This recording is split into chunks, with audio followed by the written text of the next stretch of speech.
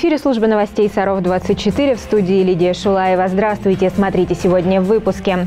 В поездку без бумажных документов, как предъявить права и СТС в приложении госуслуги авто. Смертельно опасная болезнь в 10 районах Нижегородской области действует карантин по бешенству.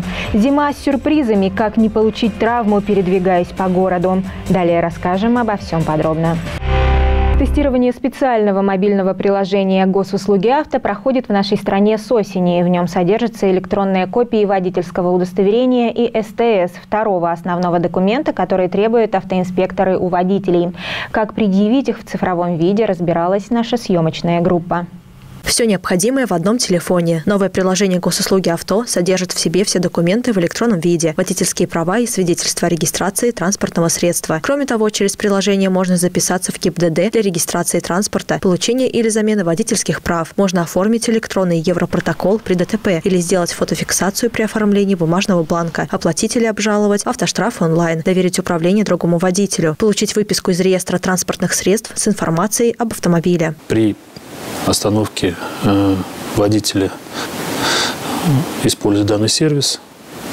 Формируется специальный QR-код, который считывается специальной программой сотрудника ГИБДД, и данные водителя, его водительское удостоверение отображается соответственно, происходит проверка. Чтобы начать использовать госуслуги авто, нужно скачать приложение на телефон и авторизоваться с помощью учетной записи госуслуг. Все документы автоматически загружаются в приложение из базы данных ГИБДД. Чтобы предъявить тот или иной документ, необходимо нажать кнопку «Предъявить документы». После этого приложение сформирует QR-код, который инспектор считает через планшет. Предъявлять водительское удостоверение в госуслугах авто можно даже без доступа к интернету. Пример ситуации. В семье один автомобиль. Жена, муж, ну, если взрослые дети, дети используют один и тот же автомобиль. Муж уехал, приехал или уехал в командировку, документы на машину забрал или забыл там где-то оставить. Жене надо использовать автомобиль. Где она возьмет? Без документов ездить нельзя. А тут, пожалуйста, в телефоне все привязано. Сейчас сервис госуслуги авто работает в тестовом режиме, поэтому сотрудники ГИБДД напоминают, что водители все равно обязаны иметь при себе регистрационные документы на автомобиль в оригинальном виде. Светлана Ярунова, Евгений Шикрев, Евгений Ващенко, служба новостей Саров, 24. Карантин по бешенству животных действует в 10 районах Нижегородской области. В основном источником распространения этого смертельного заболевания становятся лисы. Через их укусы или слюну заболевают и домашние животные, которые могут передать бешенство человеку. Дикие лисы в последнее время все чаще заходят на территорию населенных пунктов. Увидеть их можно и в городской черте Сарова. Появление рыжих плутовок рядом с домом человека должно насторожить. Для них такое поведение не характерно. Возможно, лиса, которая вышла к людям, заражена бешенством, смертельно опасным заболеванием. Один за другим район Нижегородской области оказываются на карантине по этой болезни. Сотрудники ветеринарного управления выявляют там бешеных лис, собак и кошек. Передача данного вида вируса значит, может происходить только через контакт, покус, э, значит, э, через слюну, э, который, значит, слюна, если попадает в организм животного или человека, по нервным системе, по нервной системе попадает значит, в центр, поражает центральную нервную систему, что вызывает необратимые процессы и приводит уже э, к летальному сходу или вот, значит, к проявлению э, клинической картины этого заболевания. Заболеть могут и домашние питомцы, которые не выходят из квартиры. Человек на обуви может принести вирус, который попадет на слизистый или на ранку вашей кошки или квартирной маленькой собаки. Инкубационный период бешенства до 10 дней. Насторожить хозяина должно изменение в поведении животного. Например, собака, не склонная к общению, становится вдруг очень ласковой или наоборот. Затем животное отказывается от корма, и у него наблюдается обильное слюнотечение. Спасти его уже нельзя. Вирус животное может передать человеку. Нужно учесть всем жителям, а также и владельцев животных, и не дай бог, кто пострадает, что обязательно нужно а, э, владельцам животных в первую очередь сразу обратиться в ветеринарную клинику для регистрации этого животного, для регистрации случаев покуса, чтобы можно было принять соответствующие быстрые меры для того, чтобы спасти жизнь человека.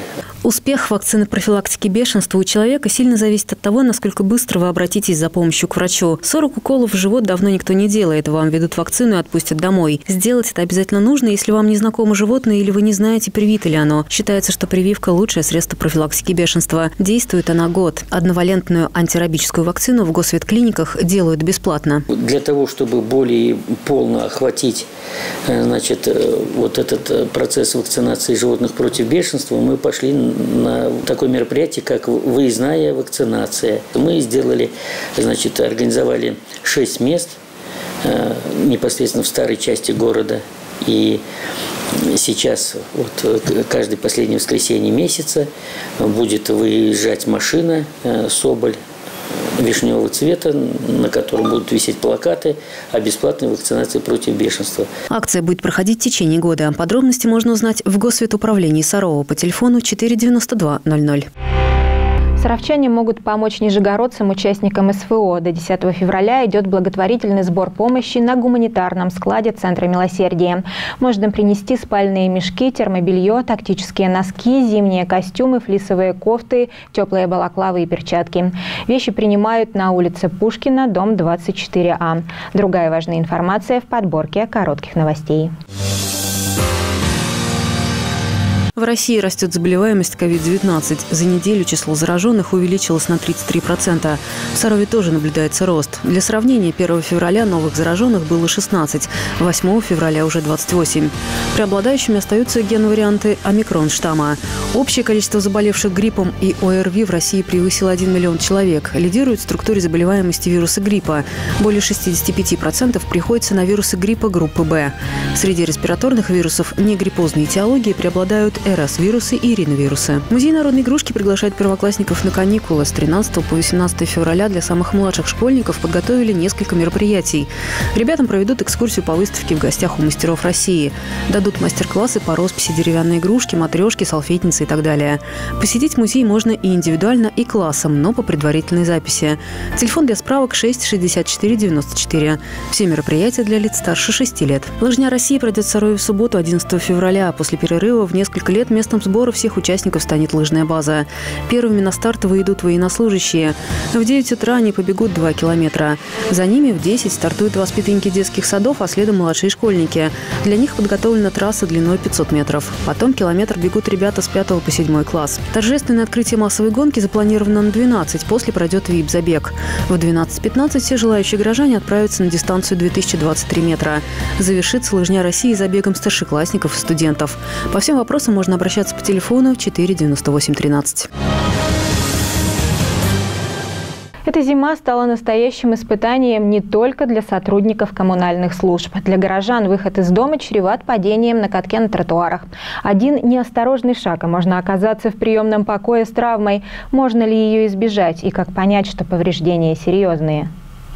По статистике, каждый третий человек старше 65 лет хоть раз за зиму да упадет. Пожилые падают чаще, потому что страдают остеопорозом, болями в ногах, мышечными слабостями, головокружениями. А нынешняя зима с ее перепадами погоды опасна для всех. Травматологи завалены работой. После падений на улицах к ним обращаются и дети, и молодежь, и люди старшего поколения. Наиболее часто встречающаяся травма, переломы, вот, в частности, это перелом лучевой кости в типичном месте, нижней трети предплечья, а, перелом плечевой кости, а, перелом лодыжек, это вот голеностопный сустав. Но у пожилых людей при падениях часто страдают э, позвон, позвонки, компрессионный перелом позвонков. Человек падает и э, старается как бы э, смягчить падение и выставляет вперед руку. Значит, либо падает, если на попу, то происходит перелом позвонка. Ну или если ногу сильно подвернул, она критично подворачивается и ломается кость, кости голени. Травматологи советуют зимой отказаться от каблуков, носить удобную обувь обувь с нескользкой подошвой, пользоваться ледоступами. Передвигаться стоит аккуратно, не спешить, ни в коем случае не бежать. Если вы все-таки упадете, не спешите вставать. Если человек упал, почувствовал острую боль, и он не может э, встать, если это вот касается нижних конечностей э, тела, э, то нужно самому вызвать скорую помощь или попросить людей, чтобы они вызвали скорую медицинскую помощь э, и обратиться, безусловно, в медицинское учреждение, чтобы обследование, провести обследование, диагностировать то или иное, то или иное повреждения. Вот. А если человек э, может э, сам подняться, может быть, дойти, может э, идти, то в какие-то ближайшие, в ближайшее время нужно все равно будет обратиться в больницу, чтобы доктор осмотрел, обследовал, назначил лечение. Все случаи индивидуальны. Есть золотое правило. Если в течение 4-5 дней боль не уменьшается, то нужно обратиться к врачу. Есть травмы, которые при первичном обращении врач может пропустить. Их не видно на рентгене, так называемые скрытые травмы. И боль может сначала уйти, но потом неприятные ощущения вернуться. Потому что вот тот период, когда, если травма легкая, то 4-5 дней достаточно, чтобы э, наступало э, улучшение. И, и, в этом случае, конечно, наверное, не стоит обращаться в больницу, потому что поток, он действительно сейчас большой. Вот, и можно просто обойтись общедоступными средствами. Мазь, холод, покой, повязочка, вот, ограничение нагрузок. И все пройдет бесследно, проблем не будет. Вот. А если боль, она э, сохраняется, то это однозначно нужно обратиться в больницу, не заниматься, так скажем, самолечением на авось, а когда-нибудь пройдет. Вот. Э, таким образом. В среднем восстановление после легких травм, ушибов и растяжений занимает 2-3 недели. Реабилитация после перелома от месяца. Если есть перелом позвонка и значимое смещение от полугода. 8 февраля – День российской науки. Наука во все времена была важнейшей составляющей национального богатства, мощным ресурсом промышленного роста и экономических преобразований. И Саров в этой сфере играет одну из ведущих ролей. Значимые результаты работы ученых ядерного центра, основанные на уникальном опыте и собственных научных школах, получили мировое признание и позволяют выполнять самые сложные задачи государства. В том, что в непростые времена наша страна находится под надежной защитой, есть заслуга заслуга и сотрудников ядерно-оружейного комплекса. В Российском федеральном ядерном центре заложен колоссальный научный потенциал и создаются новые направления развития прикладной и фундаментальной науки. Канал 16 поздравляет всех, для кого День науки – профессиональный праздник и желает ярких открытий и достижений. Темные, светлые, чистые и с натуральными добавками на любой вкус и ото всех недугов. Десятки сортов меда свежего урожая вы найдете в торговом центре «Галактика». С 9 по 12 февраля там проходит медовая феерия. Темный гречишный мед с характерным терпким вкусом. Мягкий тягучий липовый или кремовый донниковый с нотками ванили. Каждый сорт этого лакомства по-своему уникален. К примеру, мед акации гипоаллергенен. Его можно как взрослым, так и детям. Мед с дягеля и прополисный улучшают работу желудочно-кишечного тракта, а донниковый благотворно влияет на нервную систему. На медовой феерии представлены и достаточно редкие сорта. Среди них каштановый мед. Акация выделяет около 800 килограмм с гектара нектара она выделяет. Липа до 1000 килограмм. То есть тонну с гектара она липа выделяет. Гречиха выделяет 500-600 килограмм. Донник 300-500 вот так-то. Это растение медоноса. Если взять вот этот каштан, который не, не котский каштан, который растет у нас, а именно там в горах, он стрючковый, они его называют, то вот он выделяет около там 100 150 килограмм с гектара. Качество меда с пасеки пчеловодов Михайловых высоко оценили во многих городах России, в том числе и в Сарове. Побывав на медовой феерии один раз, горожане возвращаются за любимым лакомством снова и снова. Здесь предложат вам и продукты пчеловодства – пыльцу, маточное молочко, настойку прополиса на воде и пергу. Она помогает для поднятия иммунитета и восстановления силы. Тем, кто теряется среди такого широкого ассортимента, Владимир Михайлов предлагает его сначала попробовать. Я им рекомендую взять, попробовать. Главное, чтобы мед был зрелый, то есть откачанный вовремя. И попробовать, который по вкусу подходит. Который попробовал человек, ему понравилось, он заулыбался. А попробовал, а он сразу искривился. Значит, не его мед.